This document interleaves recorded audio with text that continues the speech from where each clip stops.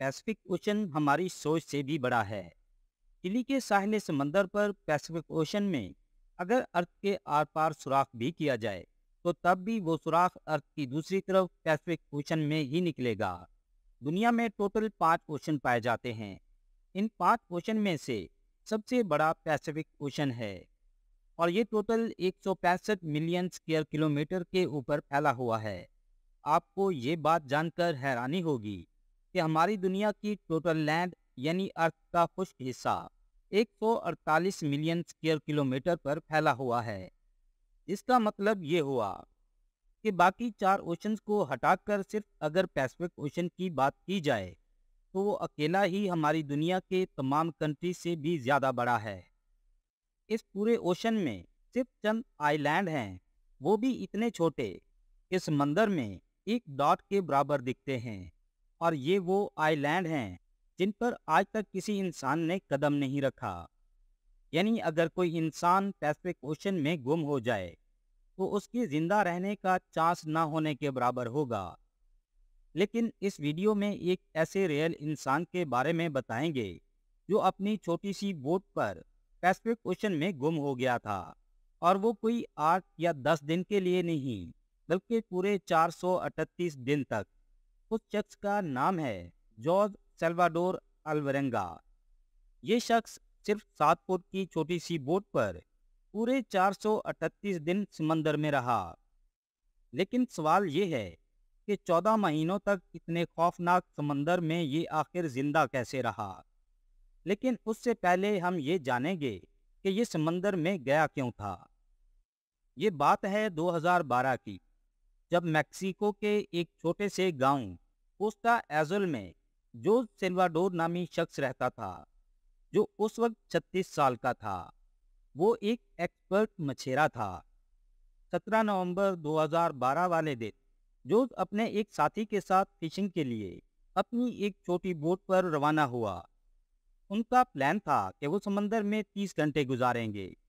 इस बोट का एक इंजन था। और बोट के अंदर एक रेफ्रिजरेटर था, जिसमें वो मछलियाँ स्टोर करते थे।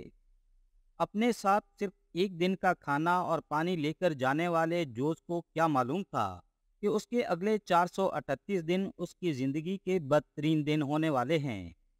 वो मैक्सिको के साइल से 120 किलोमीटर दूर समंदर में गए और अपना जाल समंदर में बिछा दिया, लेकिन उसी वक्त वहाँ एक खौफनाक समंदरी तूफ़ान आ गया।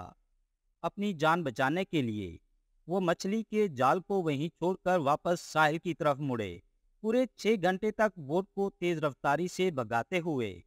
सुबह सात बजे वो साहिल से सिर्फ़ बीस किलोमीटर दूर थे कि उनकी बोट खराब हो गई। उनके पास चप्पू भी नहीं थे कि वो बोट को चप्पू की मदद से चला सकें। लेकिन उनके पास एक रेडियो था, जिससे उन्होंने बोट की लोकेशन अपने बॉस को भेज दी। और उनकी मदद का वेट करने लगे। लेकिन उसके बाद जो हुआ, वो हर मछेरे का घिनौना ख्वाब होता है। बॉस की मदद का इंतज़ार करते करते उनके रेडियो की बैटरी भी ख़त्म हो गई। जोज और उसका साथी अभी इसी परेशानी में थे कि अचानक समंदर की तेज़ हवा ने उनकी बोट को वापस समंदर की तरफ़ धकेलना शुरू कर दिया और वो आहिस्ता आहिस्ता साहिल समंदर से ज़्यादा दूर होते चले गए। उनके बॉस ने एक सर्च टीम बनाकर उन्हें पैसिफिक ओशन में ढूंढा, लेकिन वो उनको तलाश न कर सके। अगले पाँच दिन में तेज हवाओं ने बोट को शायद समंदर से 450 किलोमीटर दूर धकेल दिया। वो समंदर के ऐसे हिस्से में पहुँच चुके थे, जहाँ पर हर तरफ़ सिर्फ़ पानी ही पानी नज़र आ रहा था। ना ही उनके पास फ्लेयर गन थी और ना ही वो आग लगाकर धुएँ से सिग्नल दे सकते थे। जोज और उसके साथी को यकीन हो गया था कि अब उनके बचने का चांस एक परसेंट से भी कम है। उनके पास खाने पीने का सामान खत्म हो गया था, इसलिए उन्होंने अपने हाथों से परिंदों को पकड़ना शुरू कर दिया, जो उनकी बोट पर आकर बैठते थे या फिर बोट के आसपास मौजूद मछलियों को पकड़ लेते। वो उन परिंदों और मछलियों को कच्चा चबाकर खाने लगे। समंदर का खारा पानी पीने से मौत वाक़ हो सकती है। इसलिए उन्होंने बारिश के पानी को रेफ्रिजरेटर और प्लास्टिक की बोतल्स में जमा कर लिया और उसी पानी से गुजारा करने लगे। लेकिन जब कई दिन तक बारिश न होती तो परिंदों को पकड़कर उनका खून पीते थे। अब इनको समंदर में कई महीने गुजर चुके थे। ये दोनों जिस मेंटल टॉर्चर से गुजर रहे थे वो इमेजिन करना भी हमारे लिए मुश्किल है। जो उसका साथी ये टॉर्चर बर्दाश्त न कर सका और चार महीने समंदर में गुजारने के बाद उसने सुसाइड कर लिया। अब इस समंदर के बीच एक छोटी सी बोट पर जोश बिल्कुल अकेला था। इसी तरह दो महीने और समंदर में गुजर गए और समंदर में छह महीने गुजारने के बाद जोश को एक कार्गो शिप नज़र आया। शिप को देखते ही जोश के ज़िंदा रहने की उम्मीद वापस जाग उठी।